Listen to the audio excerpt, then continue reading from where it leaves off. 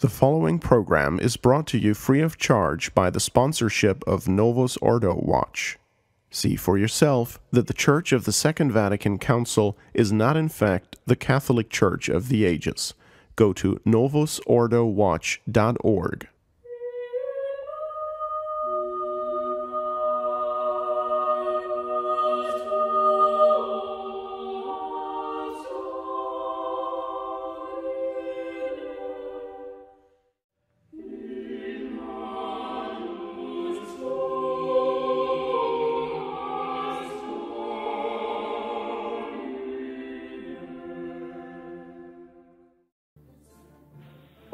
and gentlemen, to Apologetics show number one on the Restoration Radio Network. I'm your host, Phil Stone, and I'm very pleased to welcome His Lordship Bishop Donald Sanborn, Rector of Most Holy Trinity Seminary in Brooksville, Florida.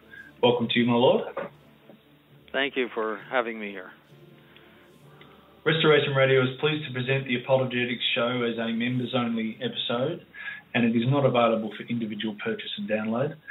To receive access to all Restoration Radio episodes, please visit restorationradionetwork.org and go to the member area on the menu bar. Our extensive website will show you all sorts of details about becoming a member. So, my Lord, Apologetics is using the, text The Defense of the Catholic Faith by Francis X. Doyle, SJ. However, it's not available in the public domain as a PDF or ebook, so far as I can tell. Um, and just a note to our listeners there, um, if they have found a uh, public domain PDF or ebook, um, please uh, uh, email us. So we'll be covering the defense of the Catholic faith. And in episode zero, we explained what apologetics is and who might benefit from a study of the topic. Essentially, um, anyone who wants to defend uh, d- defend the faith, whether it's the frustrated Catholic who um, who gets uh, knocked on the door by the Mormons, or um, just anyone who who wants to defend the faith and he just hasn't been able to find the right arguments for him. And I suppose what we were talking about in our last episode, my lord, was um, just how everything fits, and it takes you through step by step a science of uh, of defending our faith. Um, so if you haven't heard that episode yet, to our listeners, I recommend that you go back and start with that one before commencing this episode. So now we commence in earnest. Um, the first lesson of the text on page two uh, of the Defense of the Catholic Church is um, uh, religion in general. So this uh, text is a little different to a catechism in that it doesn't pose um, straightforward questions and answers, but the way we'll take uh, our listeners through this is for me to, to present the, um, the each of the headings and, and, uh, and ask Bishop Sanborn to explain it. So I used to resent religion, my lord, under the definition of religion. Uh, I was a bit of a disenfranchised ex-Protestant, all dressed up with nowhere to go. I was always getting into debates with my friends about God. I would argue strongly that God exists, but I didn't need to go to church. Religions are just a man made thing. Um, of course, I had no idea. I mean, man doesn't really need religion, does he? Perhaps we can start with this definition of religion. Yes, uh, the it's from the Latin word religare, which means to bind, and so its its uh, etymological definition would be the the bond uniting man to God. Uh, its essential definition is re- it is the virtue by which man pays to God the homage due to God because of his supreme and singular excellence. So the uh, obviously man has a relationship to God as creature to creator. And this relationship of creature to creator necessarily binds the creature to the creator as his ultimate end and therefore generates a necessity to pay homage to God, to obey God, to know God as he is, uh, to set aside false gods and to worship the one true God, uh, and to to posit acts of adoration and reverence and, and worship uh, that are pleasing to God. So just from creature creator, you have all of those things that arise out of that relationship. And just as a footnote to that, that is why the doctrine of evolution is so wicked because it it ruins the the most fundamental aspect of religion, the, the very foundation of the virtue of religion, which is the creature creator relationship. Uh, that is why man is religious because he knows he's a creature. He knows that he cannot exist except if he had been created by something that is existence itself. And and he cannot have intelligence unless he was created by something that is intelligence itself. And these things are all grained into, uh, excuse me, ground into into his intellect instinctively. Uh, just a, you know, a way a, a, a child or uh, any young animal goes instinctively for its mother. You know, it, there's there's an instinct of of dependence, and uh, that it, that it has come from something greater than itself, and uh, so so evolution detaches man from the creator, and therefore ruins all religion in general. So that that's a, a really evil and and dreadfully stupid system. Uh, but that's a whole other show. um, uh, so uh, so that that's what religion is. So uh, next question. So religion may be considered in its content and in its exercise. Yes, uh, the the content of religion is the sum total of truths and laws which determine man's moral relationship with God. Its exercise means that is the uh, the acts that man posits uh, in, in accordance with these truths and laws. So there are certain acts of religion, such as well, the holy sacrifice of the mass, or praying, or other things. That's the exercise of religion. But religion has an objective content which dictates the exercise. So you will worship God according to the truths of the religion, or let's say, you know, if you're in a false religion, the the dictates of the false ideas of the religion. So you know, if you know, as the Aztecs, you know, they worship the the devil in the form of a snake, uh, and they they sacrifice to this devil snake uh, the whole day long uh, who and in all of those you know, primitive religions, uh, which were all devil worship, there was always a, a, a requirement of, of human sacrifice and blood offerings. Uh, you know, they they will uh, organize their practice or their exercise of the religion based upon their quote unquote dogmas. Uh, and so also the true religion is exercised based on the true nature of God that's a good segue into the third um, point, uh, the third question, which is religion is either true or false. Yes, uh, very important point, and a very much denied point today. Uh, the true religion is is that which gives due homage to the true God in the manner decreed by God or dictated by right reason, and a false religion is one which gives homage to a false God, for example, idolatry, or to the true God in a false way. All right, so uh, you could uh, give false worship to the true God. That's possible. Uh, today, everyone is uh, infected with ecumenism, which is to say that there is no possible truth about God. That it's all whatever you want to say about Him. It doesn't matter as long as you uh, have certain religious feelings certain interior uh, experiences about God. It doesn't matter. It doesn't matter what you call him, whether he's Allah, whether he's he's uh, Christ, whether he's the Jewish God, or whether it doesn't matter as long as it's true for you. And uh, I just had somebody tell me this the other day. Everyone is infected with that. Everyone. And the the, the obvious conclusion is that there is no one true religion, that there is no revealed religion, or not even if we exclude revelation, that it is not possible for man to know by reason what the true God is or who the true God is, uh, or what the true religion would be. You see, it, it, it God did reveal to us Himself, uh, but He didn't have to. He could have just let man proceed according to his reason and discover Him by reason and and that would have been what we call natural religion. And uh, just as there is an orthodoxy in mathematics and an orthodoxy in biology and an orthodoxy in geology and all of these other sciences, so in the most important science that affects man, not only here but after the grave, the is uh, there is an orthodoxy. There is something true about the object of religion, something false about it. In other words, that that there are uh, there's a uh, you know if you if you deny the truths uh, even of reason concerning God, you're in falsehood. Um, and uh, that was going to be my response to this person who was telling me it didn't matter. it was actually it was actually a physician who was telling me this, and I was going to say he didn't give me the opportunity to say it, but well, isn't there an orthodoxy in biology? Or can you say that the liver is made of cheese and get away with it?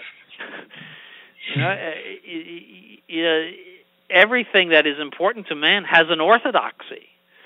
Um, and you have to take your medical boards and you have to prove that you believe the orthodoxy and hold to the orthodoxy. And sure, there are disputed things, but there are certain undisputed things that you must adhere to in order to get a license to practice medicine or in order to get a license to practice engineering. You know, you can't build a bridge, you know, if you don't believe in the law of gravity. mm-hmm. uh, or avionics, you know, if you don't believe. I mean, it's just absurd that, that people would say, "Well, you're crazy. You know, you're out of your mind. That you would like us to approve you, even though you are so unorthodox about these most basic truths that everyone accepts." But when it comes to religion, oh, it's impossible. there is no hmm. orthodoxy possible. And yet it's the most important orthodoxy that you believe rightly concerning God. Because if you displease Him through false worship or the worship of a false God, you're going to hell. Just as you go to prison if you commit a crime in this country or any country, you go to prison. Why do you go to prison? Because you disobey the laws. So, you know, while people cry out for justice to be done when there's a crime committed, they reject the whole idea of it when it comes to the punishment of their own crimes after they have died. Where do we? Why, why does a judge have the right to cut somebody's head off or send him to the electric chair or do whatever else he does? Why does he have the right to do that, except by the power of God? We don't see animals setting up courts of laws and juries, uh, you know, with wigs on as they have in England, or or the the uh, you know we don't see that. The two, you know, the the one that is is the victor is the one that has the strongest teeth, and, and he's considered the best because he defeated everybody else in in the eating of the carcass. So uh, that's the, that's the world without reason. That's the world without God. Uh, but you know, human beings crave justice, and and there's going to be a justice in the next life too. Uh, and so uh, the there is a true religion and a false religion, and so my point is that the knowing of the true religion and the rejecting of the false is absolutely and most importantly necessary for human beings. So, as a resentful ex-Protestant, therefore, my Lord, I was wrong when I thought I didn't need religion. Um, religion is necessary for man, which is a great uh, leading to the next um, next point, point number four. Uh, religion is necessary for man. Yes, because uh, as he says, right order demands this homage of God. There has to be, uh, according to right reason, a recognition of the the supremacy of God. There has to be a recognition of our dependence upon God and and him as supreme being, even before any consideration of the Catholic faith or or anything beyond reason. Reason says that if he is God, he demand uh, he will demand and he deserves uh, respect and obedience and uh, forms of, of worship that are pleasing to him. Uh, we must manifest this. We must, uh, as he says in the book, we must submit our intellects to what he has revealed. Uh, we must uh, submit to even things that we can know from reason by uh, uh concerning him, uh, and um, so, it, it, in other words, God cannot just be ignored uh, because he is our ultimate end. If we come from him, we must return to him. We are dependent upon him, just as a child is dependent upon a parent. Uh, and and uh, so uh, so religion is necessary. It it is uh, for man to fulfill that obligation to God, and God would be offended if the obligation is not completed. Um, just as a parent would be offended if his child s- sticks his tongue out at him or, or shows him disrespect. Uh, so that um, and this, uh, he says in, uh, in, the course of this, that all mankind demands that this homage be given to God. There has never been a, a single tribe or, or any kind of people on the face of the earth that has been godless until the 19th and 20th centuries.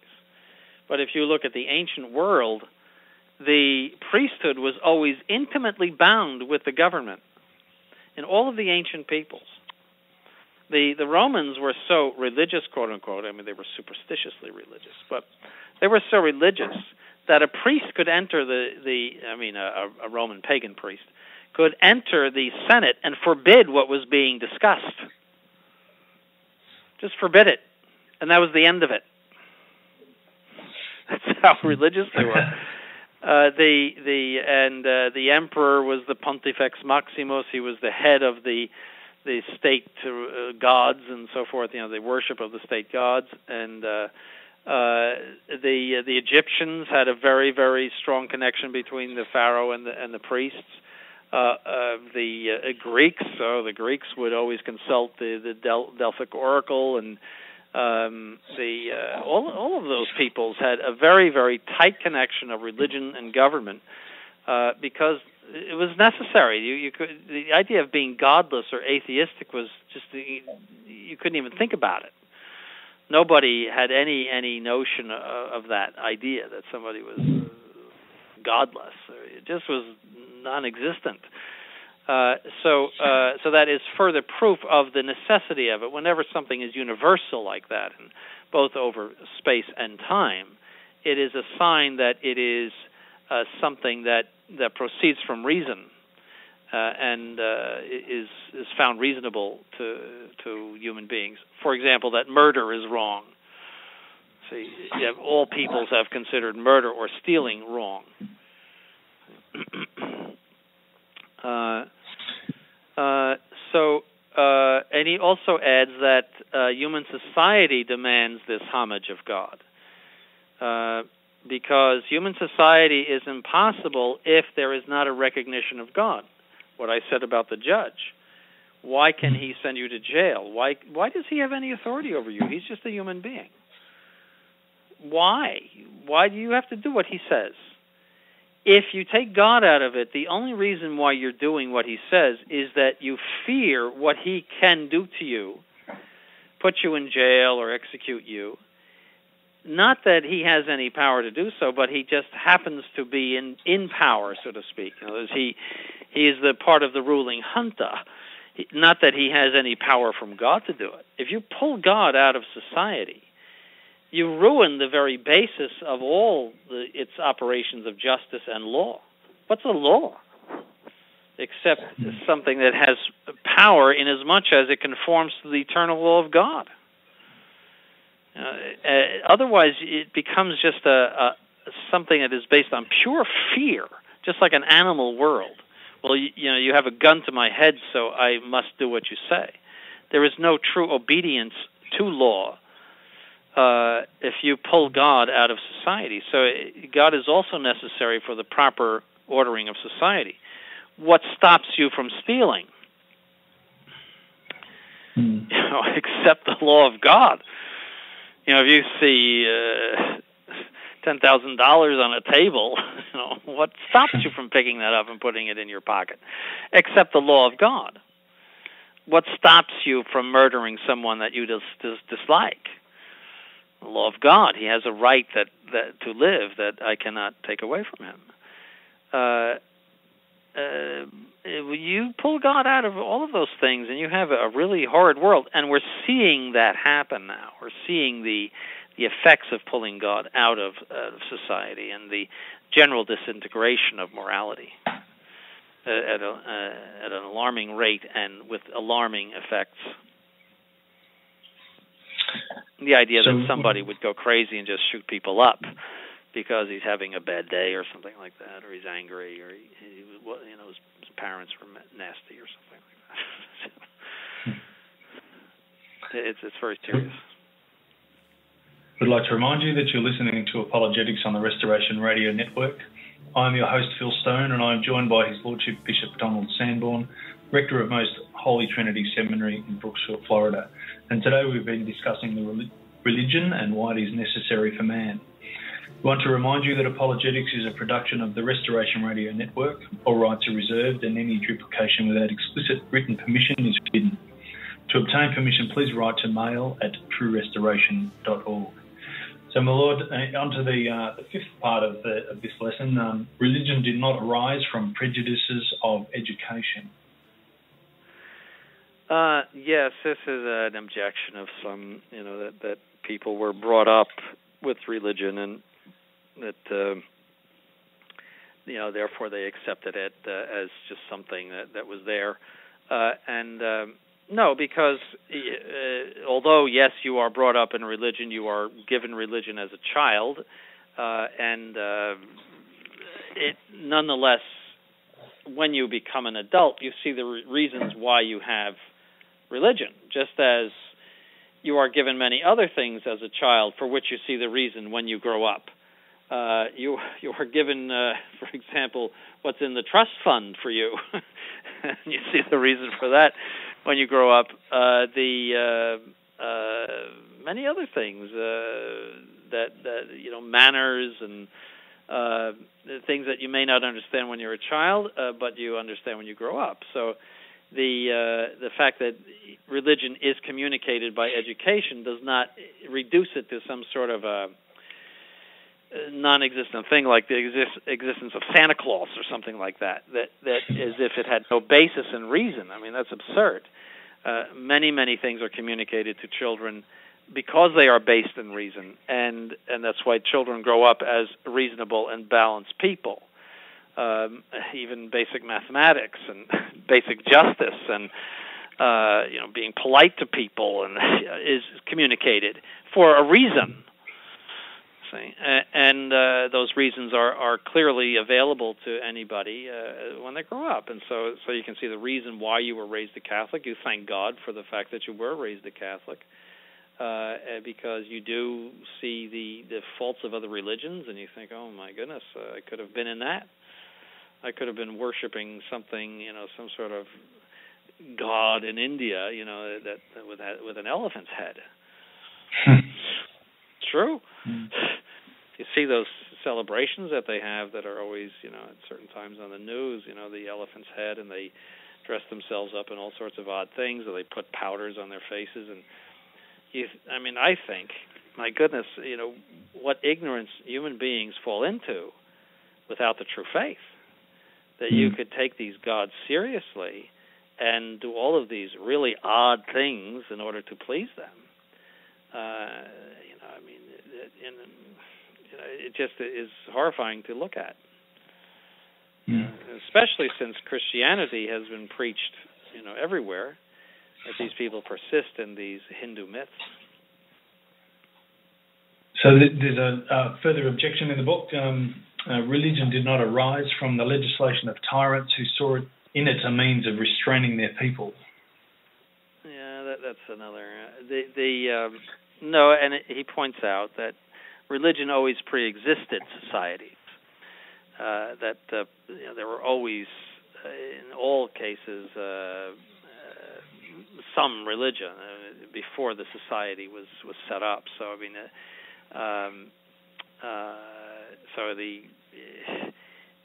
religions always survive. Even even in the French Revolution, for example, which did everything it possibly could to extinguish Catholicism, uh, did not manage to do so.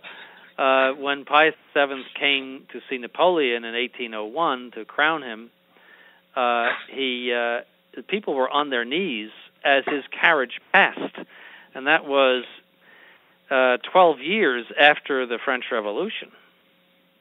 Mm. Uh, you know, if you know any history of that revolution, it, it was it just determined to extinguish Catholicism in France, and didn't succeed at all. And the reason why Napoleon wanted to be crowned by uh, Pius VII was he understood that religion was so basic to human society that he had to incorporate it into his program.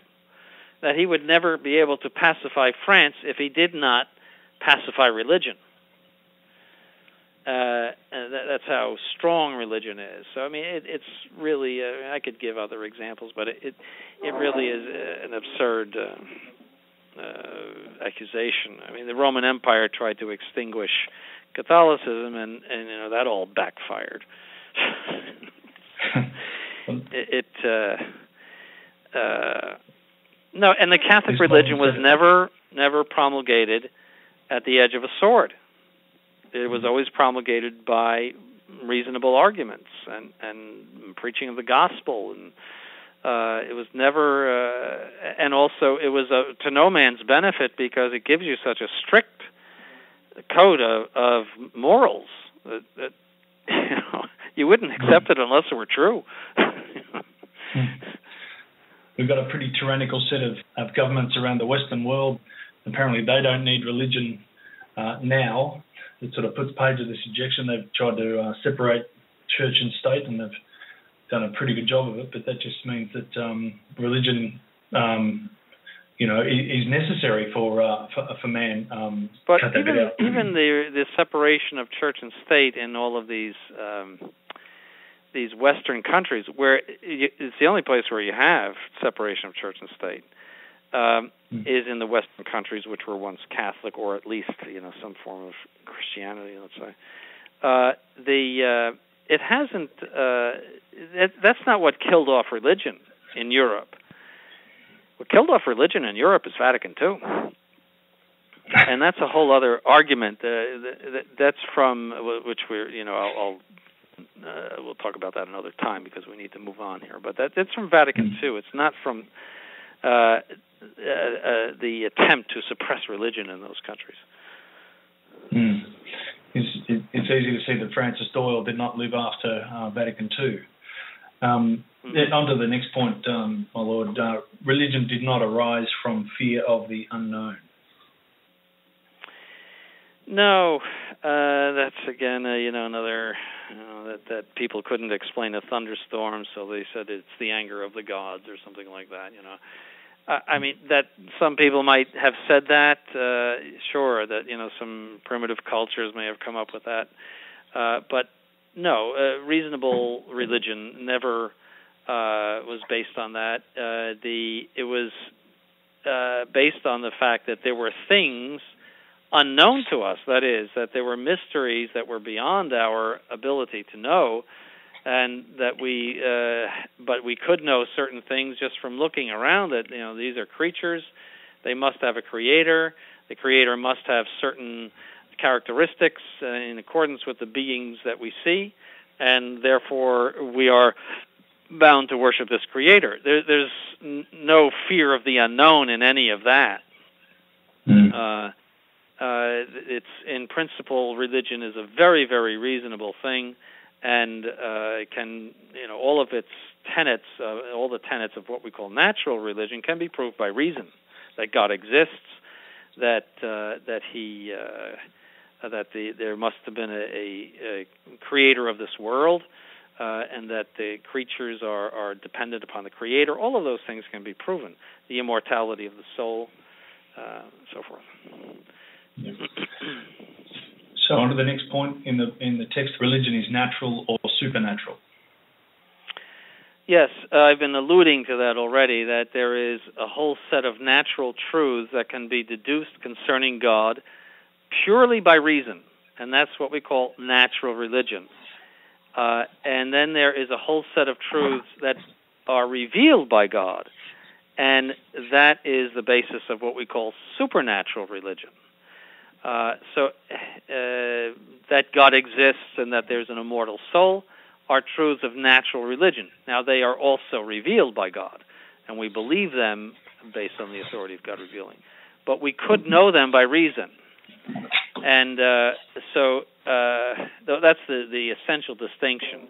Now, if if God had decided not to reveal Himself, then we would have been left to our own lights to figure out who He was and how He should be worshipped. And we come on to um, religion as a science on page seven. Uh, it says that it proves that God has actually communicated definite truths to man. Then it demonstrates these truths from their sources, establishing its conclusions one upon another, thus con- constructing a system of demonstrated truths relating to God's and man's relations to God. Yes, that that is a definition of theology. Remember, I said that theology mm-hmm. takes the revealed doctrine and deduces conclusions from the revealed doctrines, and therefore makes a system uh, of truth concerning God, and that's sacred theology, and that's that's a science um, of sacred theology. Yes. So we've gone from uh, religion is um, either natural or supernatural, and it is a science. So therefore, that leads us to the conclusion that there is certainty in religion, which is point yes, 10. that that uh, it's uh, that uh, even in natural religion there is absolute certitude based on the certitude of existence.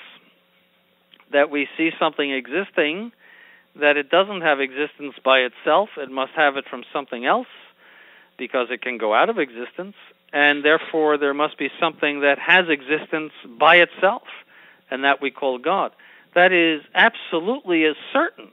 It's as certain as as you know we see the the the light in front of our eyes, uh, and it uh, has uh, all of the the qualifications of certitude, which is evidence. The, you are certain if you have evidence and if you can see the evidence for what you know. See, it's not only to have it, but that you can see it. You can see why you know what you know, why uh, it's necessary that what you know is true. That's that's what generates certitude, and religion is loaded with certitude because it's based on principles that are absolutely certain and never changing. It's not like the mm. weather. And that leads us to the subject matter of religion, which is, of course, uh, God. Um, yes. And, uh, and, and anything related to God, including how, how we get to Him. That's moral theology. Okay, so that um, basically closes out our show, my lord. Um, uh, so we've covered the doctrine of religion and its, necess- uh, its necessity because man must pay homage to God. Um. I want to thank you, my Lord, for your time and being with us on this episode. Uh, is there anything else you would like to add in summary before we close out our episode? No, I think uh, we've uh, we've covered all of our material today.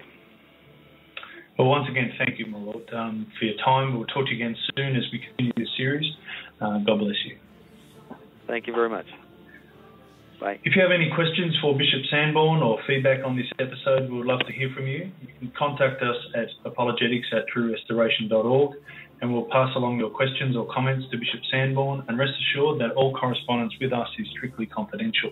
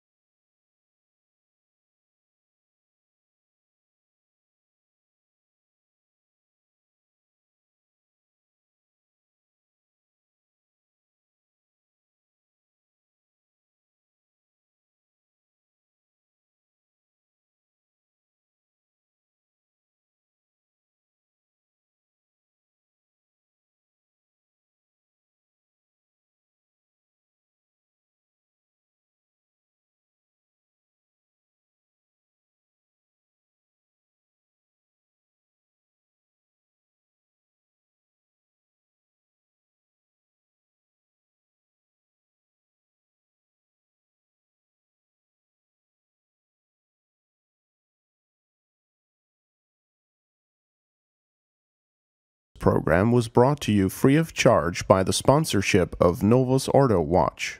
See for yourself that the Church of the Second Vatican Council is not, in fact, the Catholic Church of the ages. Go to novusordowatch.org.